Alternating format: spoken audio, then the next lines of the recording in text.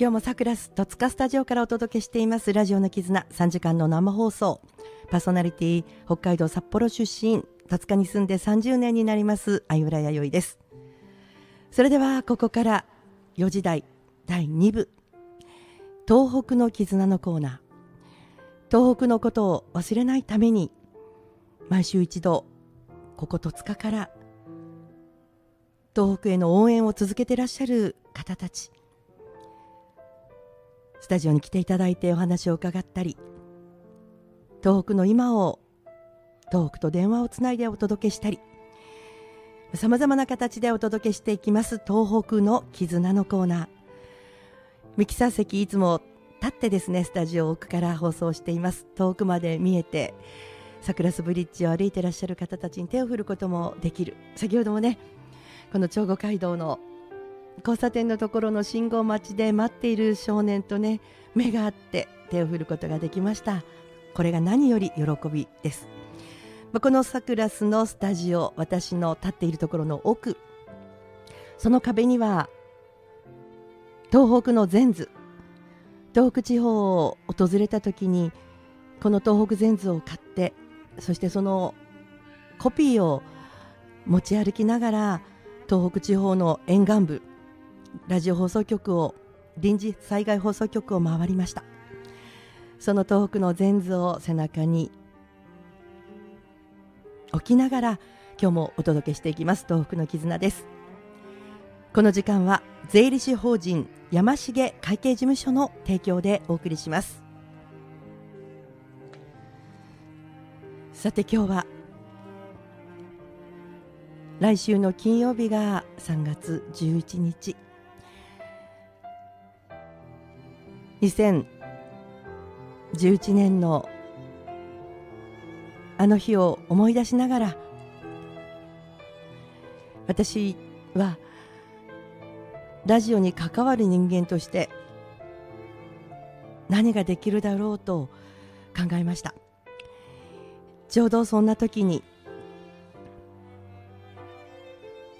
我が FM 戸塚の顧問の今野さんが同じくラジオに関わる人間としてそして音楽関係の仲間と無線関係の仲間ととりあえず臨時災害放送局が立ち上がったところを訪ねようというお話が私のところにも届いたんです。立候補してぜひとも連れてってくださいとお話をして6月でした。2011年6月。チーム今野を作ってねみんなで。臨時災害放送局を回りました。その時のことをこう思い出しながら今日はあの2011年6月。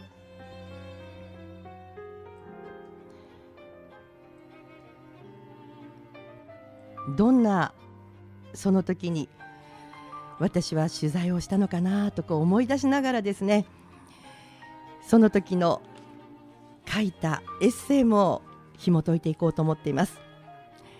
6月に東北の臨時災害放送局を訪ねた私たちチームの目的の一つはいい音楽届けようプロジェクトでした。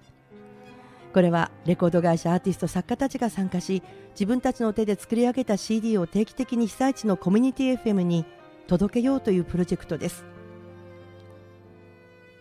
今でも毎月1枚ずつ届けながらプロジェクトは進行しています。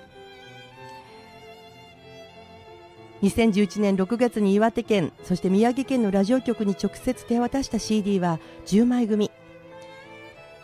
手のひらを太陽に友達になるためにこの道赤い花白い花青い地球は誰のものふるさとなどの唱歌童謡が中心となっています。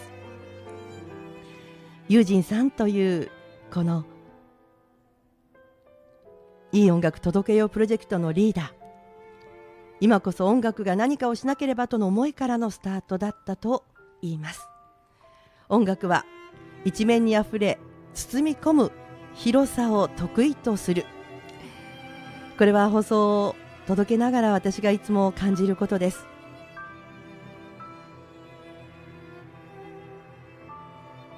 この音楽の力を2011年同じように感じた方がいらっしゃるんですね。川島愛さん「旅立ちの日に」という歌の作詞作曲者です。東日本大震災発生の11日の夜大津波で破滅的な被害を受けた南三陸町戸倉地区の高台に20人余りの子どもたちの歌声が響いた。本当は6年生が卒業式で歌うはずだった「旅立ちの日に」作詞作曲川島愛。雪の降る中神社の境内で一晩を過ごした。今始まる希望の道今日までありがとうね。輪になってみんなで口ずさんだ。無理やり笑顔を作ったが涙は止まらない。何日かかってもいい。みんなで卒業式をしたいと友達と大好きな町に誓った。出ろ。激しい揺れの後男性教員の大声が響いた。戸倉小学校の児童は近隣の戸倉中学校の生徒と合流しながら高台にある避難場所にを目指した。小学校6年生の菅原さんが海を見ると水が引き海底の岩が見えた。来たぞという叫び声が聞こえた途端大津波が町を襲った。一息つくと卒業式はできないねと誰かが言った。